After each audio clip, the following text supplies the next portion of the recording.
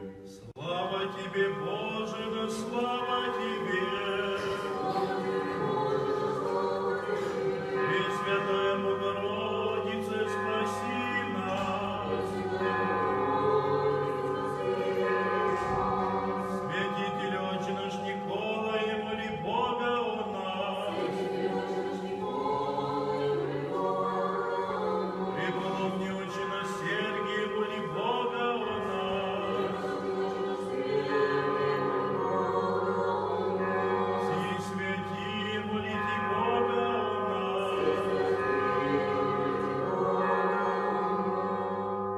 Во имя Отца и Сына и Святого Духа. Аминь. Владимир, митрополит Киевский и Галицкий. Митрополит Владимир является первомучеником в длинном ряде убиенных и замученных российских православных архиереев. В то время, когда убили в Киеве митрополита Владимира, в Москве происходил священный собор Всероссийской Православной Церкви. Весть о мученической кончине старейшего иерарха России глубоко взволновала всех членов собора. И именно на день его смерти, 25 января, собор и установил ежегодное молитвенное поминовение всех усопших во время гонений исповедников и мучеников.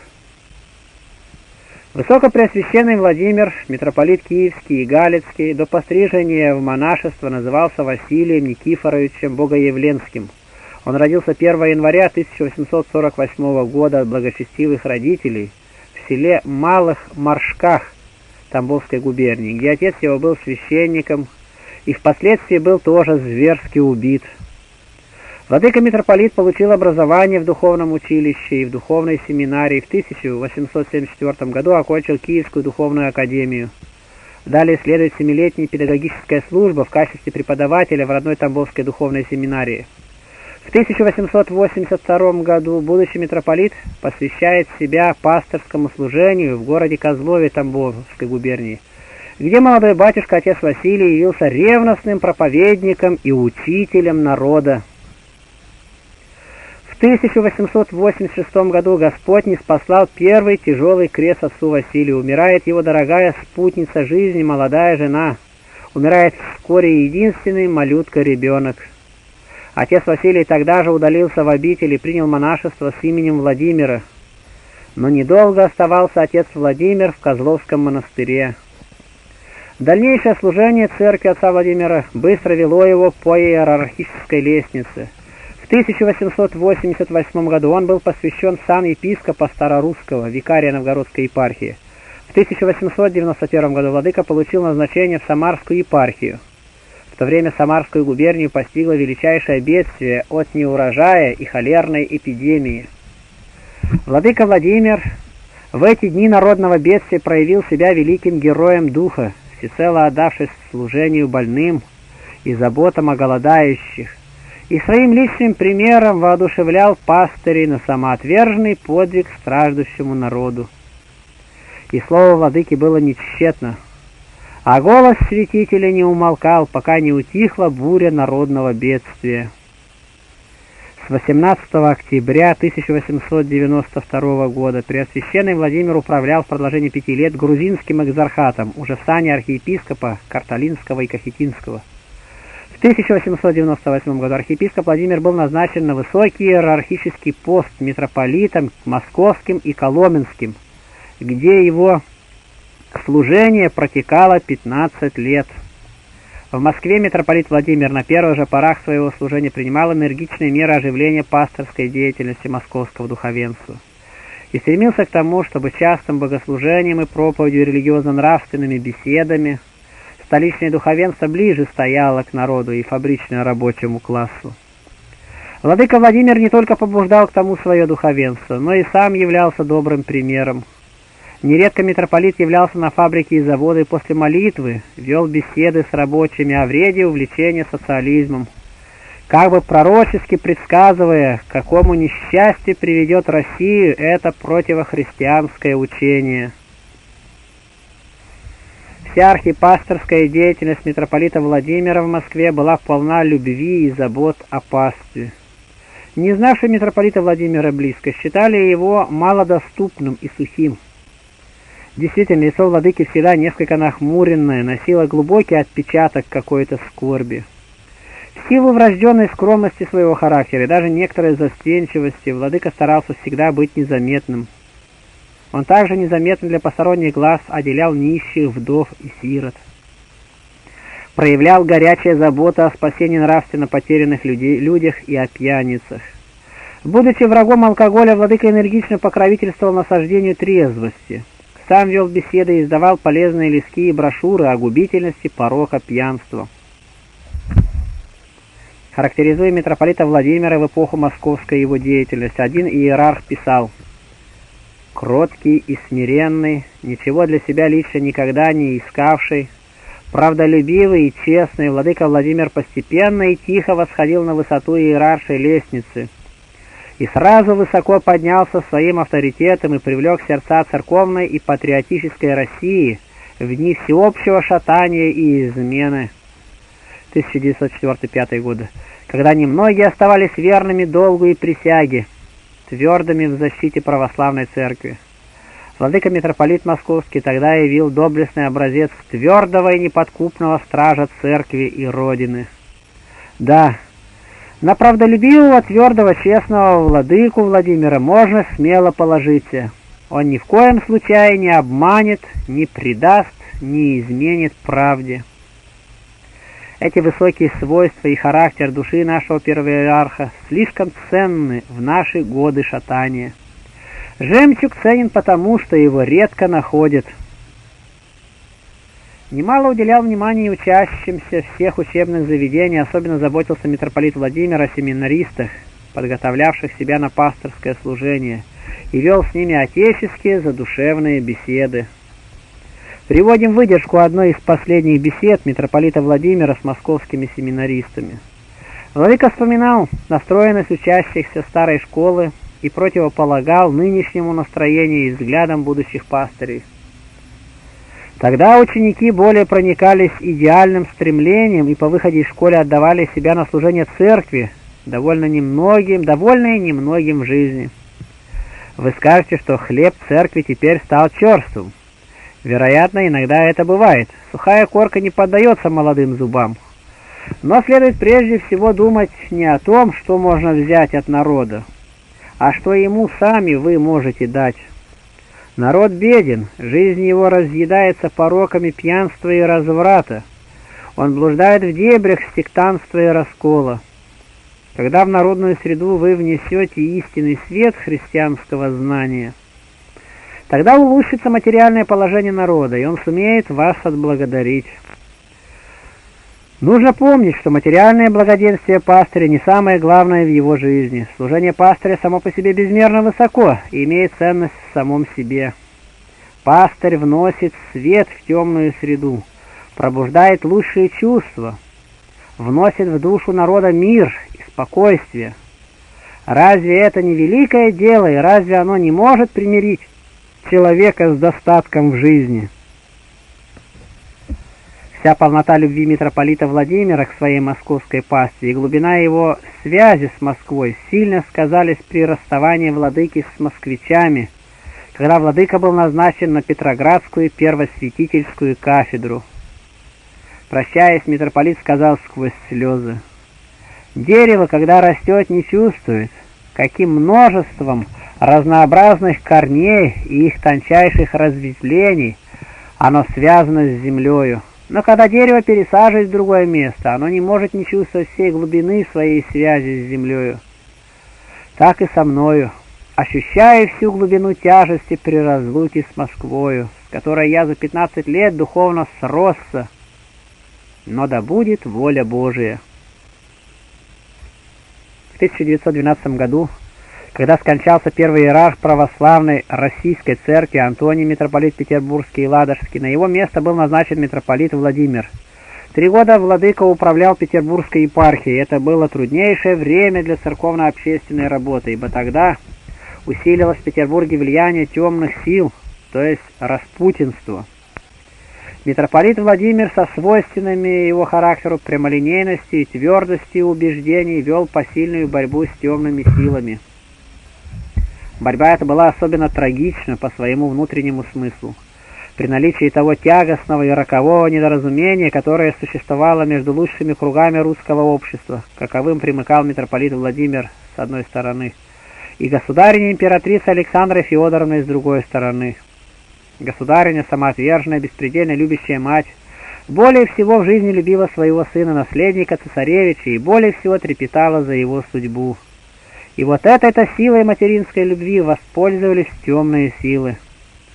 Случайным ли стечением обстоятельств или действием темных, нам неведомых сил произошло то, что императрица глубоко уверовала, что судьба наследника цесаревича тесно связана с судьбой старца Григория Распутина. На этом убеждении царицы построено было его громадное, почти неограниченное влияние. Когда это влияние стало оказывать действие в сфере церковной жизни, митрополит Владимир счел для себя невозможным дальнейшее молчание и попросил аудиенции у государя. Архиереи вообще имели очень редко аудиенции у императора. Все отношения между ними обычно поддерживались через обер-прокурора. Обер-прокурор, в данном случае Саблер, ВК. Узнав о цели, с какой митрополит Владимир желал видеть государя, предупреждал владыку о том, что это очень болезненная и сложная тема. Но митрополит смело шел на исполнение того, что он считал непременным своим священным долгом, и как первосвятителя церкви, и как верно подданного. Добившись аудиенции, митрополит Владимир смело и прямо указал государю на все сплетни и грязные рассказы, которые ходили в обществе в связи с именем Распутина, указал на гибельность его влияния, особенно в церковных делах. Государь, прослушав владыку митрополита, сказал – что, быть может, он и прав во многих отношениях, но что царица-мать никогда с этим не согласится. Государыня, узнав о разговоре государя с митрополитом, была страшно возмущена и горячо негодовала против митрополита за его вмешательство в семейную жизнь царской семьи. Государя заявила, что митрополит неверно подданный, если он может допустить грязные сплетни и разговоры о царской семье и передавать их государю, когда в действительности ничего этого нет – в ответ на обвинение против Распутина она говорила, что старец Григорий неоднократно спасал жизнь нашего сына-наследника цесаревича, и никогда грязной мысли о старце она не допустит. Государина была права по-своему. Конечно, никакой грязной тени, ничего кроме самого светлого, кристально чистого не было в жизни и во взаимоотношениях царской семьи. Но грязь, связанная с Распутиным, проникла в некоторые сферы, близкие ко двору, и об этом то и говорил митрополит Владимир государю. А государыня не знала и не хотела знать ничего об этой грязи. Такова была трагедия тех тяжелых лет. Оба чистые, высокие духом, праведные перед Богом, царица и митрополит не поняли друг друга и государыня не захотела выслушать того, кто воистину был и верноподданным и добрым святителем Божиим, того, кому предлежала такая же мученическая кончина, как и всей царской семье. Митрополит Владимир в 1915 году впал в немилость и был удален из Петрограда на кафедру митрополита Киевского. Здесь будет, кстати, вспомянуть слова, сказанные этому великому иерарху одним архиереем – вы были первенствующий иерарх между нами не только по своему общественному положению, но и по, выш... по вашим высоким духовным качествам, когда вы светили нам в тяжкие годины церковной жизни. Именно когда люди совершенно изолгались и постоянно изменяли своим убеждениям, вы не боялись говорить правду царям, сознательно подвергая себя огорчениям и страданиям, и в то же время претерпевая все житейские скорби со смирением и покорностью божественному промыслу и с величайшей твердостью души. Киевская паства с первых же дней окружила своего архипастыря любовью и искренним сочувствием, видя и ценя в нем гонимого за правду опального святителя. Как первенствующему в Священном Синоде – Митрополиту Владимиру по вступлению в управление Киевской митрополии пришлось вновь приехать в Петроград.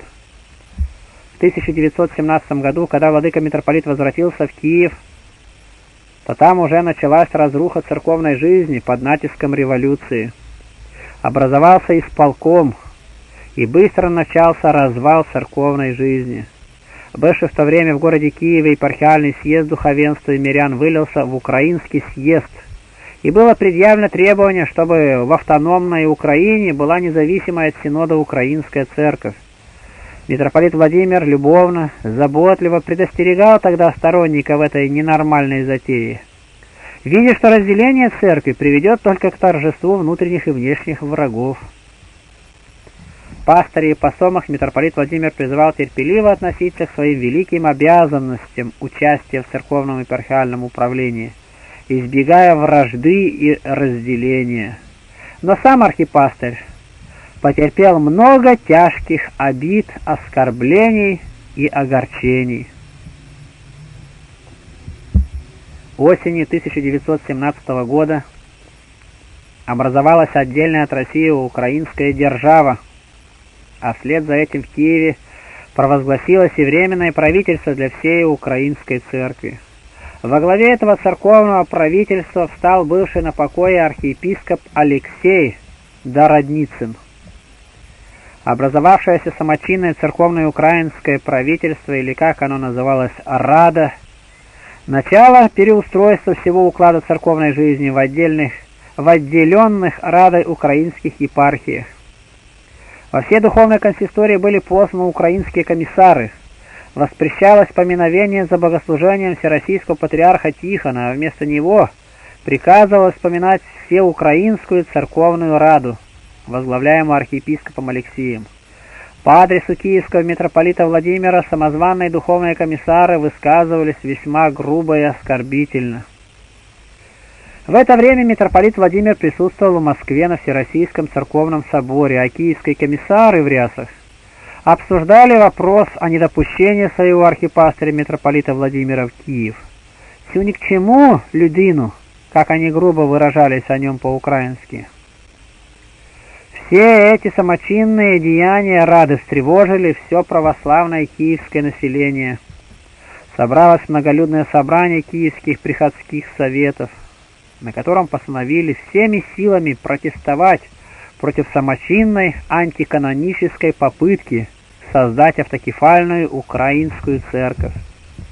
Вскоре после описанных событий митрополит Владимир возвратился из Москвы с церковного собора в Киев. И тогда началось со стороны врагов церкви всяческое глумление над 70-летним старцем-митрополитом.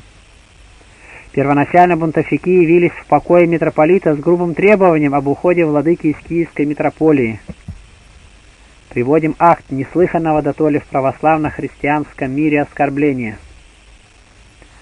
9 сего года, 1917 года, декабря, в два часа дня по поручению будто бы Центральной Рады заявилась ко мне комиссия во главе с назвавшим себя председателем Украинской Церковной Рады священником отцом Маричевым и депутатом протеереем Шараевским, новый лжемитрополит священником Тарнавским, священником Филипенком, диаконом Ботвиненко и иродиаконом Порфирием, и каким-то военным, и после речи отца Маричева было мне заявлено словесное постановление Рады о том, чтобы был удален из Киева преосвященный Никодим епископ Чигиринский, чтобы немедленно вступили в должность членов консистории вновь назначенные, а также предложено выехать из Киева и мне – Желая иметь письменное заявление об этом со стороны поименованной депутации, я позвал личного своего секретаря и предложил ему записать это требование депутатов, и что последние подписались под ним, но они категорически отказались от этого.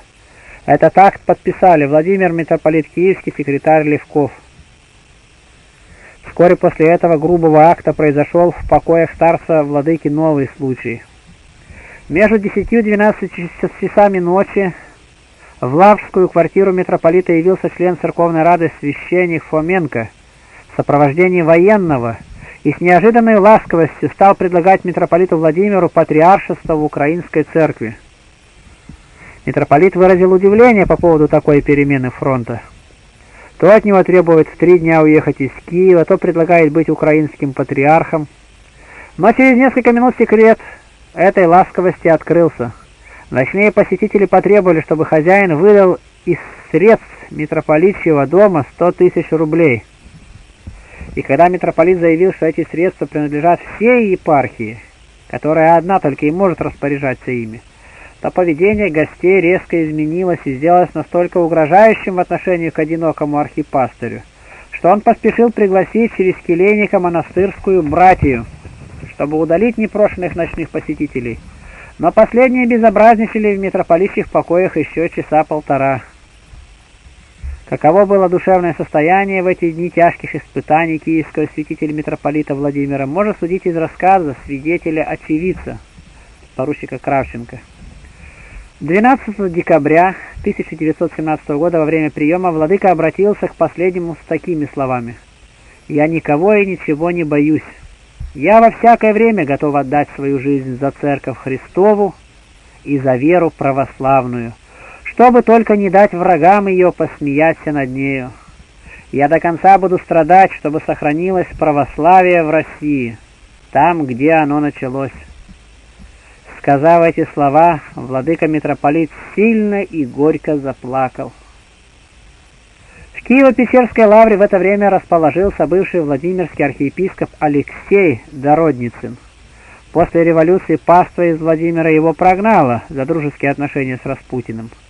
Изданный из епархии Дородицын, украинец из Екатеринослава, перекочевал в Киев, где в тумане революционных настроений назревало стремление к автокефалии, к независимости от Москвы церкви. Устроившись в Лавре, архиепископ Алексей стал мутить монахов-украинцев и возбуждать их против митрополита Владимира в надежде добиться его увольнения и самому сесть на его место. Монахи стали притеснять митрополита, сначала в мелочах. Случалось ему нужда куда-нибудь съездить, а монахи не дают лошадей, заявляет владыка Алексей на лошадях уехал. Положение создавалось для митрополита Владимира тягостно, и когда к нему приехали другие два архиерея, он просил их как-либо вразумить бесчинника. Но их некоторые усилия оказались напрасными. Дородицын создал для митрополита Владимира такое положение, что он чувствовал себя в митрополитчих покоях в Лавре, как в осажденной крепости. Митрополит Владимир был глубоко честный, прямой и стойкий человек. Он не подчинился никаким требованиям группы людей, беззаконно собравшихся в Киеве, в Украинской церковной раде под главенством архиепископа Алексея Дородницына которого митрополит Владимир считал величайшим и тяжким церковным преступником и мятежником, в чем архиепископ Алексей сам сознался и раскаялся перед церковью, уже изданной украинцами же. Умер в Новороссийске в приступе в сердечном январе 1920 года. Даже под угрозой лишения жизни митрополит Владимир не подчинился незаконным требованиям, что он и доказал своей мученической смертью, которую он мог бы избежать, если бы захотел укрыться от врагов и убийц. В январе месяца 1918 года в Киеве началась гражданская война. Положение начала гонения, положенное, и преследование митрополита Владимира озверевшими его же бывшими духовными детьми – продолжалось и завершилось убийством владыки во время обладания Киевом сатанистами-изуверами.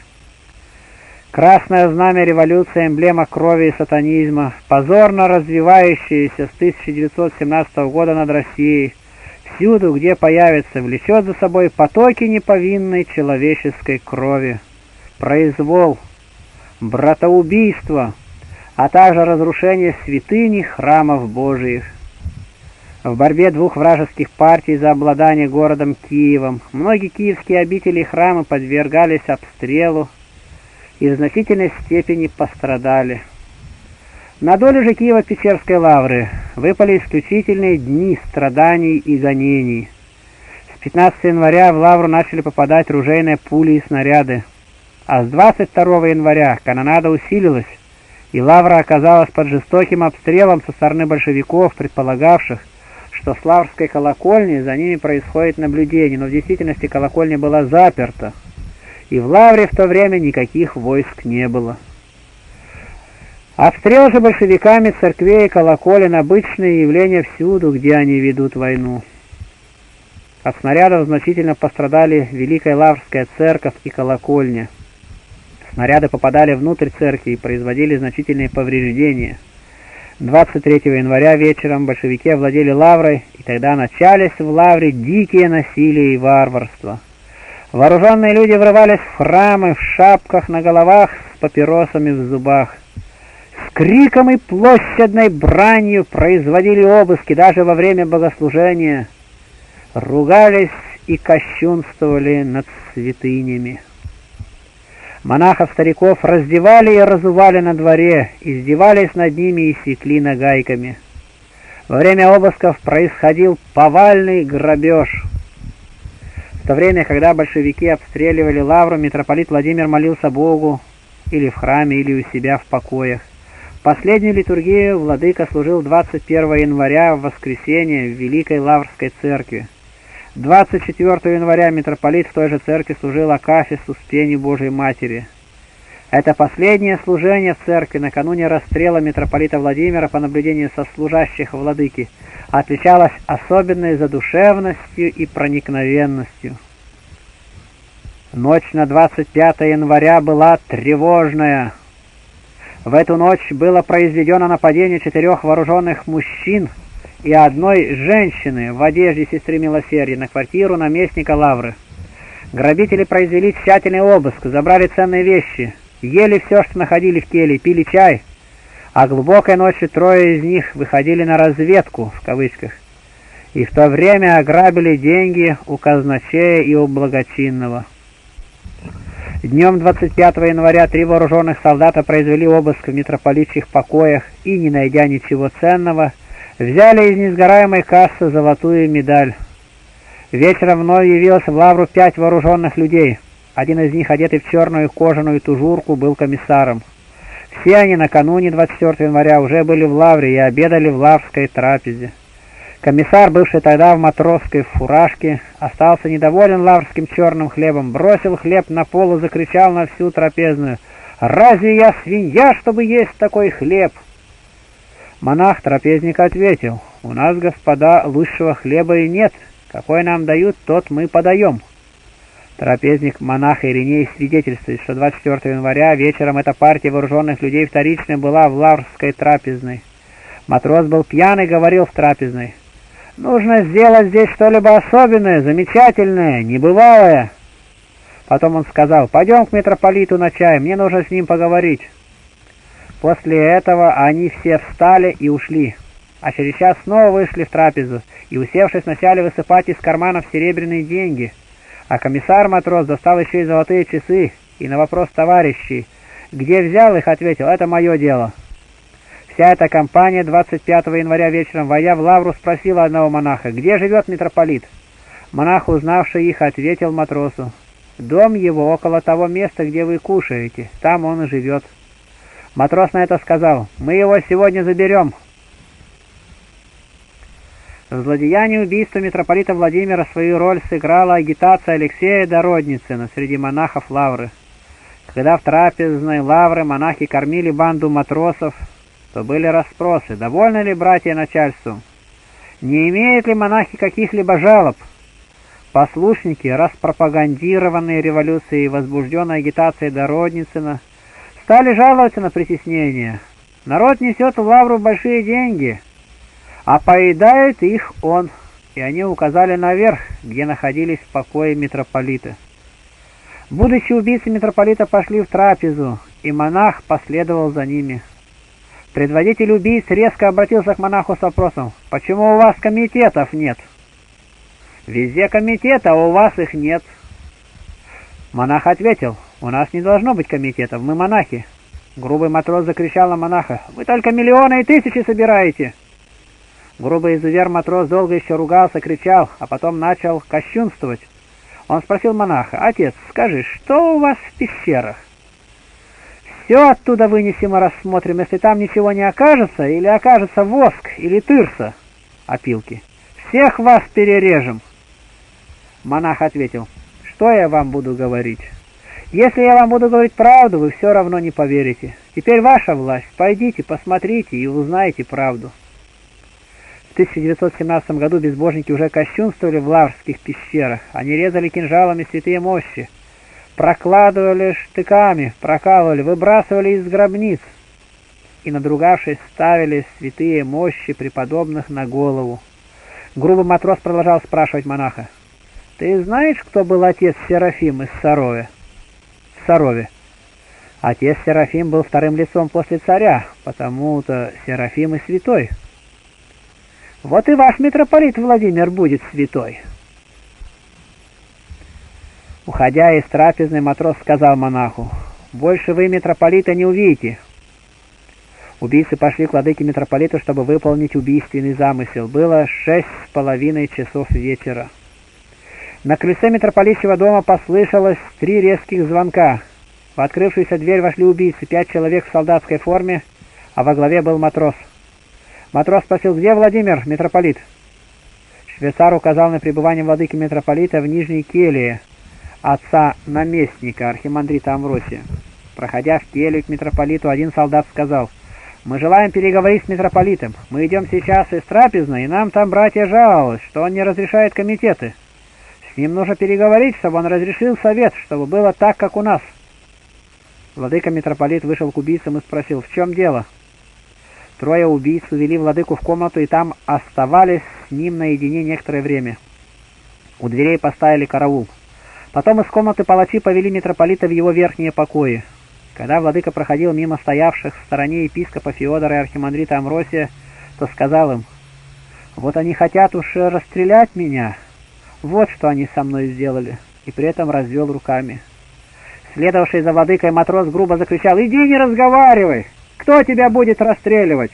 До коменданта пойдешь!» Поднявшись на первую площадку лестницы, ведущей на верхний этаж, митрополит остановился и, обращаясь к сопровождавшим его убийцам, сказал, «Ну, господа, если вам угодно расстрелять меня, расстреливайте здесь же на месте, я дальше не пойду». Матрос на это грубо заметил, «Кто тебя расстреливать будет? Иди!» Убийцы повели митрополита в его спальню, где, заперев за собой двери, оставались с владыкой там двадцать минут. Там владыку пытали, душили цепочкой от креста, требовали денег и глумились. Потом келейники нашли в разных местах спальни на полу разорванную цепочку, шелковый шнурок, ладанку и серебряную нательную иконку. Через двадцать минут митрополит, окруженный тремя палачами, вышел из спальни, одетый в рясу, с панагеей на груди и в белом клобуке на голове. При выходе на колесо к владыке подошел под благословение его старый келейник Филипп. Но матрос оттолкнул его от митрополита, закричав, «Довольно кровопийцам кланяться! Кланялись! Будет!» Владыка, приблизившись сам к келейнику, благословил его, поцеловал и, пожав руку, сказал, «Прощай, Филипп». Вынул из кармана платок и вытер слезы. Филипп передавал, что митрополит был спокоен, словно шел на служение литургии. Когда митрополит надевал шубу, один из солдат сказал, «Это важный преступник!» А матрос закричал на него, «Будет тебе! Никаких разговоров!» Забытый, брошенный своей братьей, окруженный палачами и убийцами, ни в чем не повинный, кроткий и смиренный старец, митрополит Владимир спокойно шел на казнь. По дороге в ограде лавра митрополит шел, осеняя себя крестным знамением, и в предведении смерти благоговейно напевал «Благообразный Иосиф». Случайно очевидец убийства митрополита передает, что к месту расстрела от лаврских ворот владыку привезли на автомобиле. Когда убийцы вывели владыку из автомобиля на площадку, то он спросил, «Вы здесь меня хотите расстрелять?» Один из палачей ответил, «А что ж, церемониться с тобой, что ли?» Тогда митрополит попросил у них разрешения помолиться Богу, на что последовал ответ, «Только поскорей!» Воздев руки к небу, владыка молился вслух, «Господи, прости мои согрешения, вольные и невольные, прими дух мой с миром». Потом благословил крестообразно обеими руками своих убийц и сказал, «Господь вас да простит». Вдруг среди гробовой тишины Послышались за стеной лавры ружейные выстрелы. Сначала четыре, а через полминуты еще два и еще. «Это владыку расстреливает», — говорит один инок. «Для убийства столько выстрелов слишком много», — замечает подошедший третий инок. Потом раздавшихся выстрелов, после раздавшихся выстрелов забегали по двору лавры человек 15 матросов с револьверами и фонарями в руках. Один матрос спросил стоявших монахов, «Батюшки, провели владыку?» «Провели за ворота», — был робкий ответ иноков. Матросы побежали за ворота через минут двадцать возвратились в обитель. «Нашли владыку?» — спросил один монах матроса. «Нашли!» «Так всех вас по одному повыведем!» — отвечал матрос.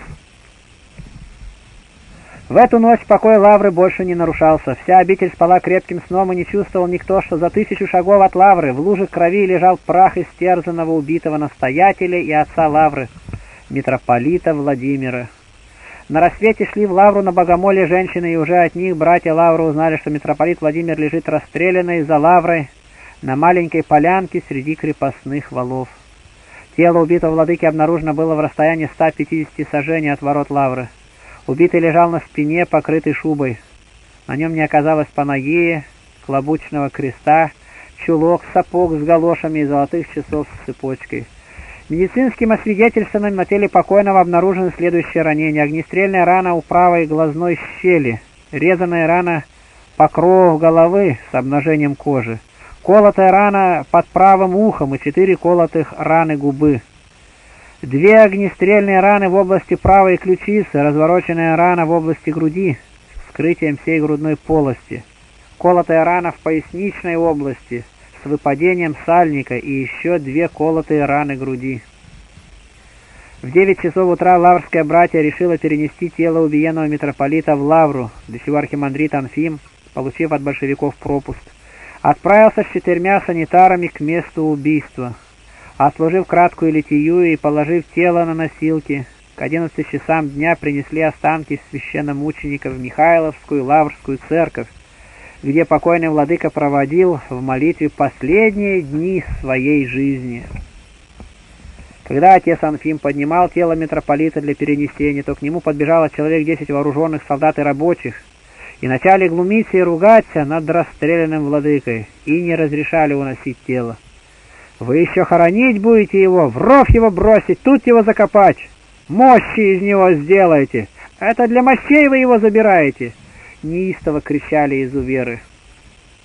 Когда понесли тело владыки, то проходившие благочестивые женщины плакали, молились и говорили «Страдалец, мученик, царство ему небесное». А изуверы кричали, «Какое ему царство? Ему место в аду на самом дне!» Для расследования обстоятельств убийства митрополита Владимира Священный собор избрал комиссию под председательством Тамбовского архиепископа Кирилла, но она не могла уже исполнить своей миссии. Киев был отрезан от Москвы новыми обстоятельствами революции. Памяти убиенного митрополита было посвящено особое торжественное заседание, происходившее в соборной палате при участии патриарха и духовенства всей Москвы. В истории русской церкви он был единственным иерархом, который последовательно занимал все три митрополичьи кафедры – Московскую, Петербургскую и Киевскую, и завершил свой жизненный подвиг в 1918 году приятием священно-мученического венца – как бы открыв собою славу русской церкви. Богу нашему слава во веки веков. Аминь. Просим, приходите, подписывайтесь, будете регулярно получать с нашего канала.